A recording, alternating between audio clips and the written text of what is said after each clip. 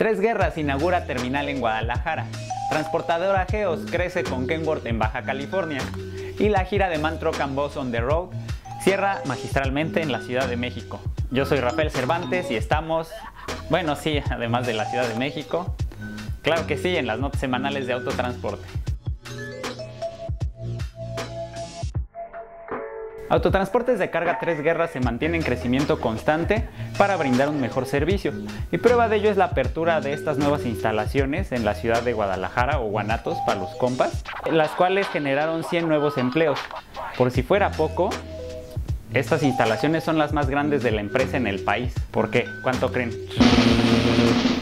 Son nada más y nada menos que 4 hectáreas, de las cuales una, 10.000 metros cuadrados, tan solo es para la bodega. Estas instalaciones tienen capacidad para despachar a más de 100 camiones por día. Durante la inauguración, el director general de Tres Guerras, el ingeniero Jorge Almanza Mosqueda, destacó la importancia de profesionalizar el transporte y capacitar a los operadores para una mayor competitividad dentro de la industria.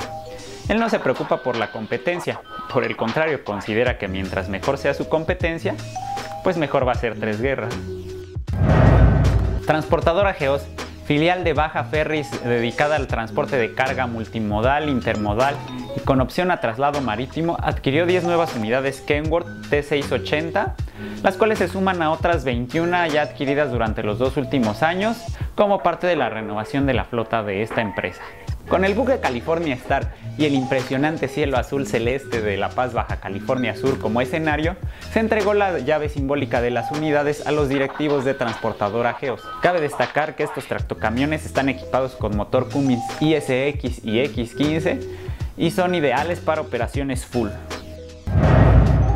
Y bueno, pues ni modo, todo lo bueno tiene que acabar. La gira On the Road Drive Experience de Mantro Cambos llegó a su fin, pero no podía hacerlo de mejor manera y en mejor lugar que en el Autódromo Hermanos Rodríguez de la Ciudad de México, donde por un momento nos sentimos en la Fórmula 1, pero nosotros fuimos más intrépidos porque nosotros manejamos camiones y manejamos el Delivery 660 y el Volksbus 14190 con semicontrol delantero y también hasta tuvimos oportunidad de treparnos al tractocamión MAN TGX.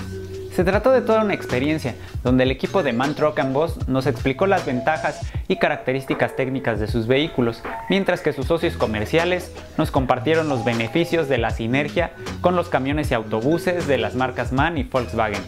Asimismo fuimos parte del macro simulacro, el cual nos hizo reflexionar sobre las medidas de seguridad que hemos tomado desde entonces y sí, hacernos la pregunta obligada. ¿Dónde estabas el 19 de septiembre de 2017? Pues bueno, amigas, amigos, eso fue todo. Hasta aquí la información.